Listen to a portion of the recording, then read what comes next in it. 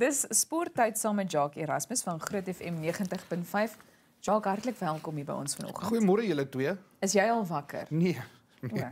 Ek kan nie verstaan hoekom saam met so vroeg in die oggende op nie. Dis ons kykers, dis nie ons nie. Nee, Vir die groot ontbyt natuurlik. Dit is dit is maar die eenvoudige antwoord. Ja, natuurlik, dit Ja. moet wees. Daar's geen geen ander rede nie. Anders het ek lank nog in my bed gelê en TV gekyk of iets. O, jy laatslapertjie. Ja, ek hou van laat slaap. Mm. Ek is een van daai mense. Wel vir nou moet ons maar eers 'n bietjie fokus op die cricketveld. Ja, die wou goeie nuus. is Suid-Afrika doen baie beter as wat hulle in die eerste toets gedoen het. Hulle speel tans teen Nieu-Seeland. Uh die telling so kort rukkie gelede was uh, 60 vir 3 geweest wat Nieu-Seeland aangeteken het. Suid-Afrika het uh, hulle beurt geëindig op 354 vir 9 en uh, wel gedaan aan Calvin Ryan wat sy 100 eerste 100 taal geslaan het vir Suid-Afrika wat fantasties was. Ek hou daarvan as die jong spelers opkom in die eerste beurt was dit Sarel RW geweest en in tweede en Calvin Ryan, al twee jong spelers nog vir die Proteas. So dit is fantasties en Kagiso Rabada wat vanoggend vroeg het al twee paaltjies gevat voordat hulle nog by 10 was. So hulle was op 'n stadium net onder 10 vir 2 geweest.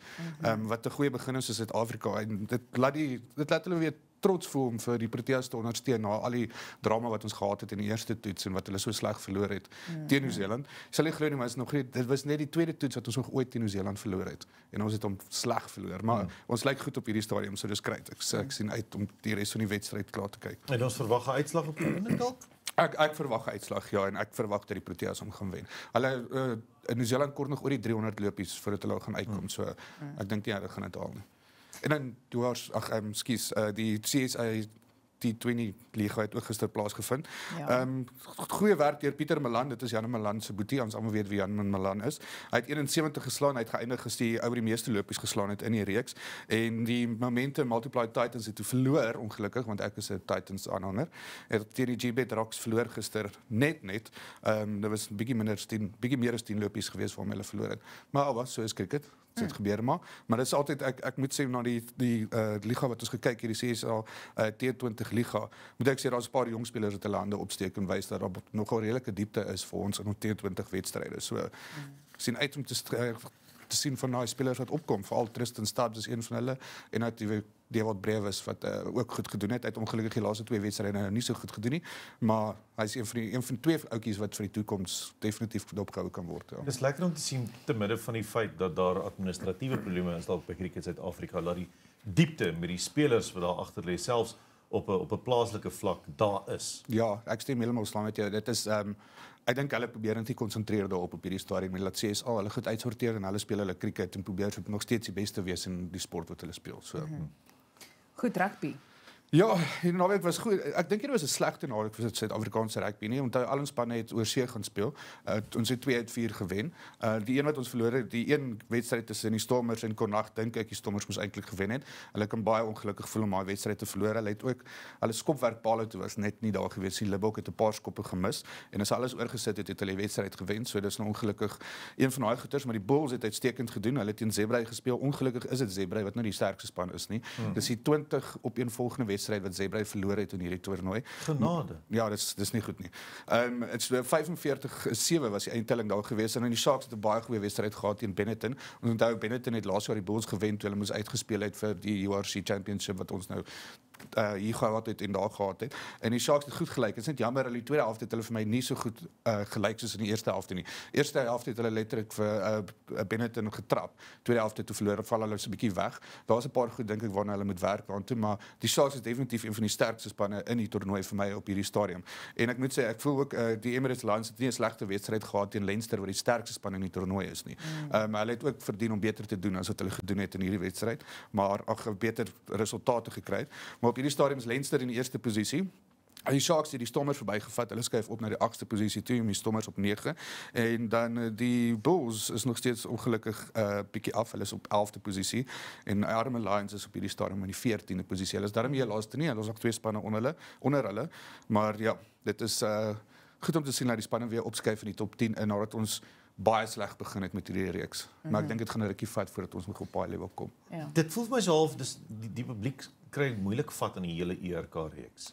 Uh, uh dink jy dis dalk maar dat ons net 'n bietjie meer moet leer oor noordelike halfrond klub rugby? Ek dink ons is nie gewoond daarin nie. Ek dit is dis heeltemal tipe ander wedstrydspel wat hulle speel oor see as wat hulle in die suidelike halfrond gespeel het. Hmm. Ehm um, so ek dink ons moet net gewoond raak aan en ek dink al baie Suid-Afrikaners hou nie van nie. Hulle wil hê die Springbokke ag die Suid-Afrikaanse spanne moet nog in die Super Rugby reeks speel wat nooit weer gaan nie onmoontlik gebeur nie. Ja. So ek dink is maar net 'n ding waar die mense moet gewoond raak aan en ek dink sodra ons spanne begin beter doen veral oor see en hierso, dan dink ek sal die ouens weer meer begin ondersteun in die JRC. Hulle sal meer hulle spanne weer begin ondersteun. Goed, dan is ek baie nuuskierig Formule 1 Haas en Nikita se toekoms. Ja, dit is dit is nou 'n groot ding. Ons almal weet nou wat gebeur met Rusland storie en Nikita Mazepin kom van Rusland af. Sy pa se um, hy was die hoofborg gewees van Haas en hulle het die borgskap gestop um, as gevolg van die situasie nou in Rusland. En Nikita Mazepin moes nou vroeër hierdie week moes hulle 'n konferensie ook bygewoon het en hy is toe van hy is toe uitgehaal dat hy nie gaan deel wees van die konferensie met die pers ensovoorts nie. So. Toe het hulle die baas van uh, uh, Haas gevra, Günther Steiner het toe in sy plek op opgetree.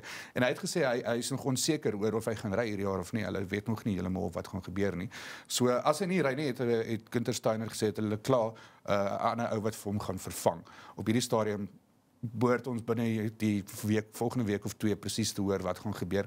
Ek vermoed Mazepin gaan nie deelneem nie nadat die Rusland se uh, Grand Prix ook gekanselleer is vir later hierdie jaar. So ek dink is dit is net een van daai dinge. En die feit dat sy pa nie meer borgskap is van Haas nie. Ja beteken dat hy nie ry nie. 'n Reeds beleerde uh, ja. uh, groep wat aan die onderdruk van die kant van die punte telling is. Ja. Nee, ja. En uh, ek moet sê dit is uh, Günther Steiner het gesê, um, hulle is nie so erg op die uh, borskap van sy pa af nie. Hulle kan survive sonder dit. Ek weet nie hoe survive hulle sonder dit nie want hy was een van die hoogborgige ja. gewees. Ja. Maar ons sal sien wat doen hulle vorentoe. Uh mhm. -huh. Dit gaan interessant wees. Ek sal daarvan hou as daar nou 'n ander drywer ook 'n geleentheid kry om hierdie jaar ook te ry. Ja, beslis. Ja. En dan eindig ons met tennis, net so. Ja, Andri Rublev van uh Rusland het die Dubai die Dubai Ope gewen hierdie naweek. En 'n interessante ding, ek het agtergekom baie van die ehm um, die Russiese ouens ondersteun nogal wat Putin doen op hierdie stadium, wat ek nie kan verstaan hoekom nie, maar okay. Maar behalwe Andriy Rublev nadat hy die Dubai Ope gewen het, het hy gesê hy soek vrede en hy glo nie hy glo nie in die oorlog nie. Hy het ook dit op die kamera geskryf op 'n stadium. So dit wys net nie almal nie al die Russe dink dieselfde as wat die party van hulle dink nie. En dit is nogal 'n groot ding want daar's baie ehm um, Russiese spelers wat uh, tennis speel en hulle weet ook nie wat lê hulle toekoms voor of mag hulle speel, mag hulle nie speel nie, al daai tipe dinge. En ek dink in hulle geval is dit moeilik want dis nie hulle keuse wat nou gebeur nie. So ja. dit voel vir my sleg as hulle geblameer word of skuldig gehou word vir iets wat hulle nie oor beheer het nie, wat hulle niks aan kan doen nie. So ek voel sleg vir hulle, maar dit is fantasties om te sien hoe Andriy Rublev eintlik opstaan teen sy eie regering. En jy weet hoe moeilik is dit om teen Putin op te staan, jy weet wat gebeur dan. So Ja, maar ek dink weer eens bewys dit die die invloed van van sportsterre veral dink ek of ja. sportpersoonlikhede kom ons noem dit maar so. Ja, en kyk hulle hulle speel 'n baie groot invloed en hoe meer hulle kan opstaan vir so iets, hoe meer gaan mense hulle kant ook begin volg. So Ja, jy het nou verwys na die F1 uh, uh, uh, Vettel het is een wat eerste opgestaan het en gesê het uh, hy is nie gemaklik hier nie in en kort daarna het F1 se bestuur ook besluit maar ons kan leer hier die Grand Prix. Hy was nie die enigste een gewees nie. Daar was 'n paar ouens, hulle het nou nie name genoem nie. Ek het gehoor daar's 'n hele klomp ouens wat gesê het hulle weier om in Rusland te ry hierdie jaar. Ja, Verstappen ook. Ja, Verstappen ja. het ook so gesê, maar ehm um, so hulle hulle hulle maak 'n standpunt en hulle ja. staan teen dit op en sê maar as ek van net sleg vir die ouens wat van Rusland afkom wat net nie wat nou daai geleenthede verloor. Ja. Wat hulle nie meer kan deelneem aan hulle sport nie. Ek sê maar ek dink nie dis hulle skuld nie. Hulle verdien dit nie. So Stem saam. Ja. ja, maar Jacques, baie dankie dat jy ons kom kuier het en sport met ons gedeel het. Plesier. Dis lekker. lekker en is veral so aan die einde van die naweek moet 'n mens net 'n tweede keer kyk na alles wat gebeur het. Ja, en wat nog hierdie week gaan gebeur. Onthou vanaand is waar sit die kap, moet dit nie mis nie. Ah, waar sit die kap vanaand? Ja. Nou ja, as jy 'n rugby ondersteuner is, veral studente rugby is, waar sit die kap vanaand na die ding wat jy wil dophou? Kyk gerus daarna. Is altyd vir my fascinerende uh, uh, uh, liga met 'n klomp nuwe reëls wat baie keer uitgeoefen word en getoets word. Daar is nogal iets om uh, iets om aan te dink. Nou ja, dit dan Jacques Erasmus van Groot FM wat saam met ons hier sport bespreek het.